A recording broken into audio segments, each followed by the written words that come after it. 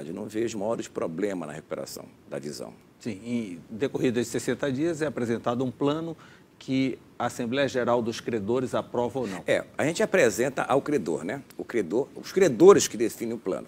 Naturalmente, vai ser apresentado um ponto de partida para um debate, para uma discussão. Essa discussão vai ser feita com os credores, que vão dizer se aceitam ou se não aceitam determinados pontos. É, nós temos ali, o principal são credores de garantia real, o trabalhista é muito pequeno, e uma boa parte também quirografário. Mas, de um modo geral, acredito que é possível chegar a um bom consenso em pequeno prazo na questão da recuperação da visão. E da aprovação do plano, né, que é o mais importante. Após a aprovação do plano, a gente entra numa fase de fiscalização.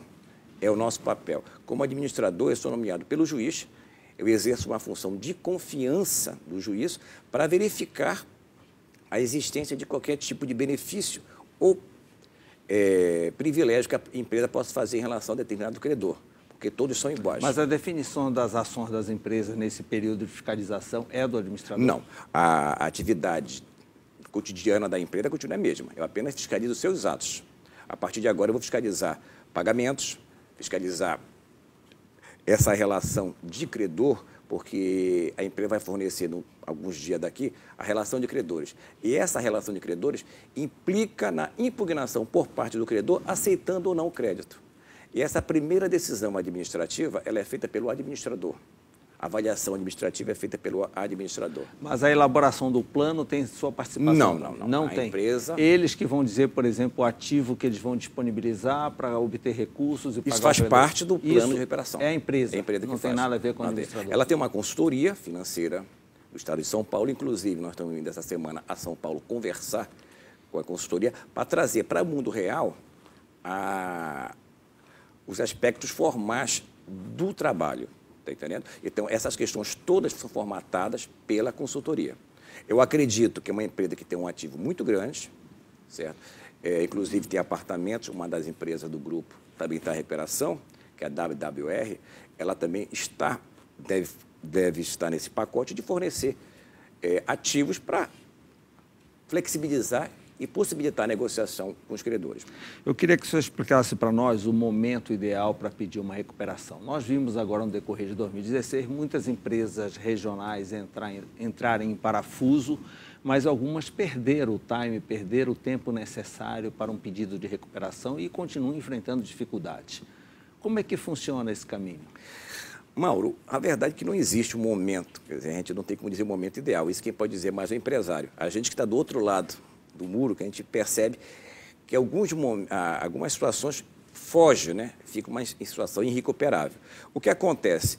O, quando acaba tendo problema de fluxo de caixa. A CEPA é um exemplo disso. A CEPA ela encontrou um problema, começou a rolar dinheiro. Em determinado momento, um dos bancos parou de financiá-la e ela, no prazo de 72 horas, providenciou a recuperação judicial.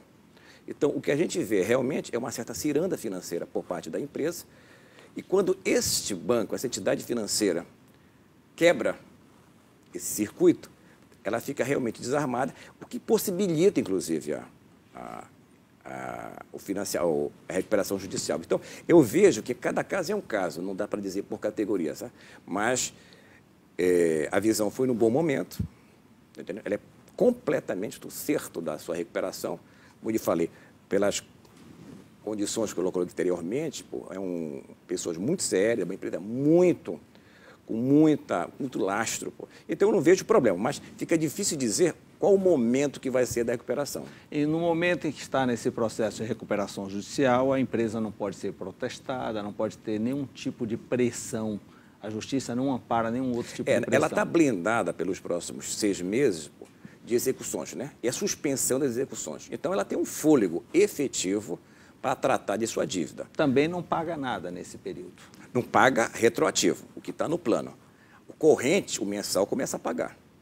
A justiça dá esse beneplácito exclusivamente aquele valor que ela Naquele indica. dia da aprovação da catação do pedido... Para trás. Para trás. É, o, é o time que ela tem. A partir daí, é o grande desafio exatamente esse, que muitas das vezes você não tem capital de giro para fazer essa circulação. Está entendendo? Mas ela blinda por seis meses, pelo menos, essa situação. Isso já é uma ajuda substancial. Qual é o índice de êxito das empresas em recuperação? Tenham esse... Temos, temos. É muito pequeno. Não chega a 10%. 10% conseguem se recuperar? Conseguem se é recuperar. Isso? Quer dizer que 90% não tem jeito, vão para falência. É exatamente pela, pela, Mauro, pela própria situação de não ter capital de giro, de não ter condições de se E mobilizar. nessa situação não consegue nem financiamento, não consegue... Não, não consegue financiamento, o crédito fica muito difícil, até porque você tem uma...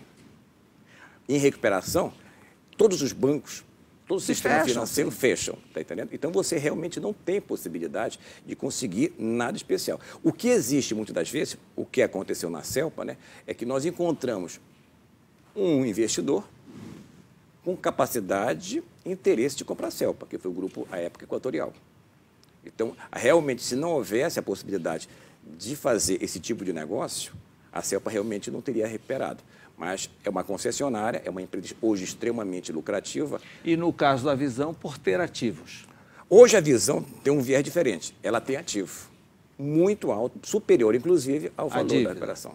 Então, o que, que já, já sinaliza a- o êxito da operação. Não, é- é, a gente não pode garantir o êxito, né? mas eu acho que as condições estão formadas para que termos uma possibilidade de recuperar de- definitivamente a visão. Eu, inclusive, vejo com muito bons olhos. A função do administrador judicial demanda nesses dois anos apenas de acompanhamento. Depois ele se retira. Depois retira. Demanda dois anos de fiscalização, até o encerramento. Não tem um prazo de dois anos. Embora a lei estabeleça dois anos, são poucas as recuperações que se encerram em dois anos. A maioria pede prorrogação. Não, fiquei determinado. Essa é a realidade, Mauro. E o administrador é o representante do juiz, Do dentro juízo da empresa. Eu faço a interlocução. Faz, empresa, E faz um relatório, se reporta ao juiz. no caso, eu sou obrigado, a partir da, desse momento, a apresentar relatórios mensais à empresa. Eu tenho uma assessoria de contabilidade que vai adentrar na empresa para verificar a situação toda. Aprovado o plano, eu fiscalizo o plano e a empresa. Eu fiscalizo se está sendo cumprido o plano.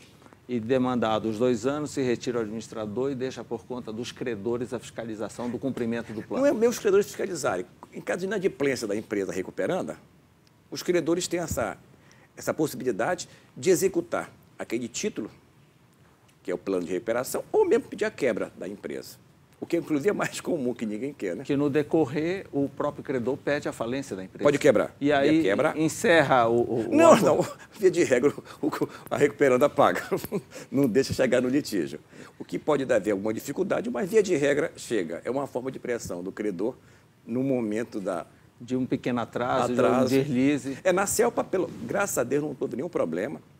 Está entendendo? É uma, uma, uma recuperação realmente Então, o vitoriosa. plano é um documento pago, é, devo, não nego, pago na medida que puder. Do que está acertado. Porque Sim. quem vai aprovar o plano são os credores. E os credores não são obrigados a aprovar o plano. Existem casos que você não aprova o plano se a empresa vai para falência. Que um credor não aprove para o Não, não é um todo. credor não aprove. Por categoria de credores, nós temos trabalhistas, garantia real e cronografares. E na- é uma Assembleia Geral, que cada segmento vota.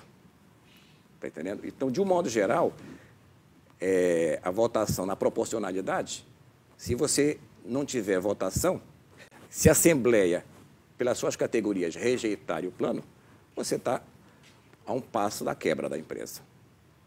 Então, Mauro, vamos torcer para que a gente chegue a um bom denominador, empresas tradicionais e que nós precisamos desses empreendedores e geradores de emprego e renda. Muito obrigado, Mauro, pela atenção, pela gentileza do convite. E à obrigado pelas suas informações. Obrigado. Logo depois do intervalo, vamos falar sobre Marinha Mercante. Está aqui conosco a diretora-geral do Fundo de Marinha Mercante, Laira Gonçalves. Eu volto já.